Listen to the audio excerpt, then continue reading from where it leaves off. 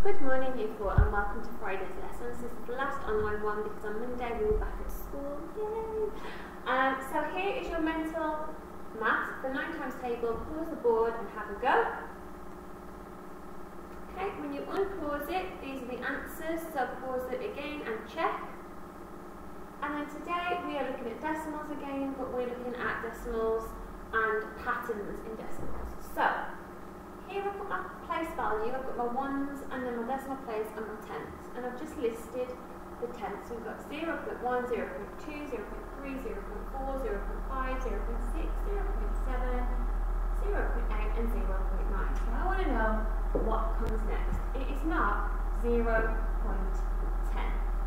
Because actually 0 0.10 would go into the hundredths column now what happens is, I've shown you here pictorially, these are tenths, remember. I've got 1, 2, 3, 4, 5, 6, 7, 8, 9 tenths. I want to know what one more tenth would be, so I'm going to draw my next tenth. 10 tenths, if you remember, actually makes one whole. So 10 tenths makes one whole. So if I've added another tenth on there, it doesn't make 10 tenths, we now convert 10 tenths into one whole. So how that would look, one would go in the ones column because that is a whole number and you could put the decimal point in the zero if you wanted but you don't really need to, it would just be one whole. And then what would come afterwards, so let's just look, in this pattern, we've got 0 0.36, 0 0.36, 0.35, 0.34, 0.33. So what we're doing is, let's just draw it on the board, we've got 0 0.36, 0 0.35, 0 0.34, 0 0.33. We're going down, like we're taking something away. But what are we taking away? Are we taking whole numbers? Are we taking tenths? Or are we taking hundredths? So again, place value is very important here. Put it above each one.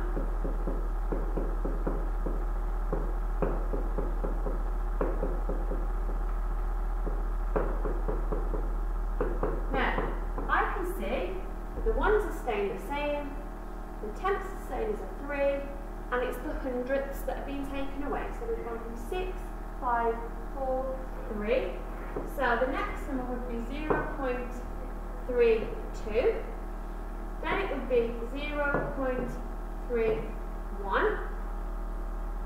Then it would be 0 0.30.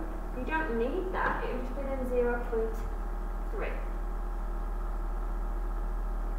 Now these are a little bit blurry, so I'm going to leave those.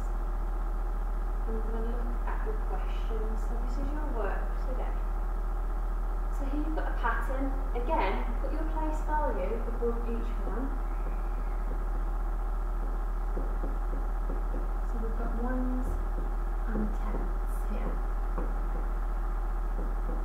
Now we're looking for the next two. 0 0.4, 0 0.5, 0 0.6, 0 0.7. These are quite simple here. Now here, we've got 1.6, 1.7, 1.8, 1.9. You can't have 1.10 what does that 10 tens convert to? We've just spoken about it.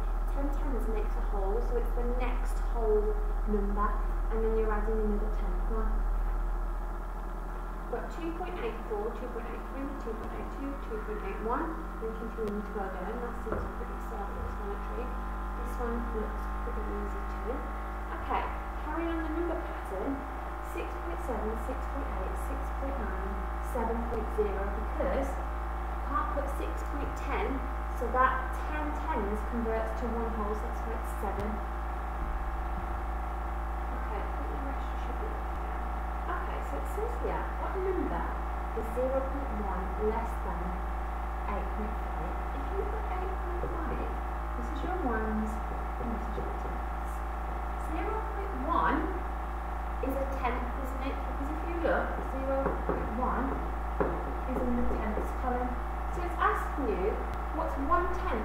less than 8.5, well you're not going to take away from the ones, you're going to take away from the tenths. And the same here, we've got 3.14, put your place value. Okay, it's saying what is 0.01 more than this number. Well again, place value, if you do your place value, you won't go wrong. 0.01 is actually a hundredth, so you need to add a hundredth to the hundredth column, not to the ones and not to the tenths, but the hundredths column. Okay, and then you've got other questions here. So it's important to make sure that you put your place value above the numbers so you recognise which number's changing and just remember these key rules that 10 tenths equals 1 whole. So if you've got 0.9, the next number's not going to be 0.10. It's going to be the next whole number because it'll be 10 tenths. And then remember that 100 hundredths also equals 1 whole. So if you're looking in the hundredths column, if you've got 100 hundredths, it becomes the next whole. So if it's 0 0.98, 0 0.99, you're nearly at 100. When that becomes 100, then you will have one whole. Okay? And then if you add another hundredth to it, it'll be 1.01.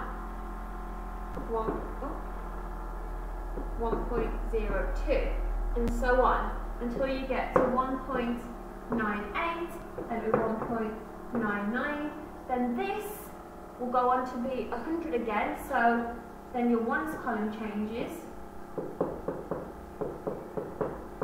So that'll be 2.00 and then you add another hundredth so it goes in the hundredth column 2.01 so look 0.99 you can't put 0.100, so that 100 then converts into one whole, and you've got no tens and no hundredths. You're adding another hundredth on, so one goes in the hundredth column, and you've still got the whole, so it's 1.01, 1.02.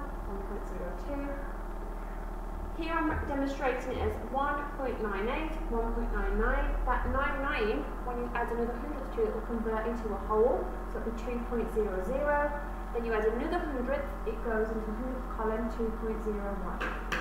Have a go at the patterns. Some of them are straightforward, some of them you will need to convert into wholes or tenths. If you're stuck, on the blog. If not, have a fantastic weekend and we're really looking forward to seeing you on Monday. Bye guys!